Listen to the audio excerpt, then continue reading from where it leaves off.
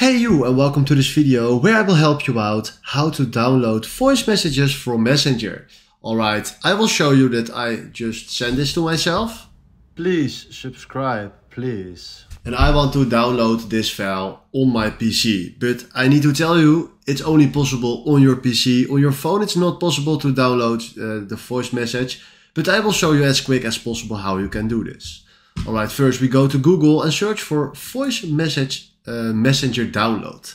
Then click here on the Chrome Web Store. And then from here, we want to install this extension. So we do add to Chrome from here and then click on add extension. Right now, we click on uh, this just right here. Oh, sorry, we click here on this icon and then on this and then click on the pin. So uh, this is standing here above for download audio message. Click this away. And the most important part now is refresh this page. Then play your audio or voiceover uh, one more time. Please subscribe, please. And right now if I go to here, click on this, you see that uh, the voice message is standing just right here. If I click now on download, he just downloaded my voice message and if I click on this,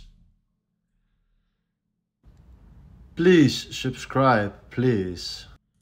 Hey, this is exactly how this works and it still works. So if you found this video helpful, please consider subscribing and give this video a like. And then for now, thanks for watching.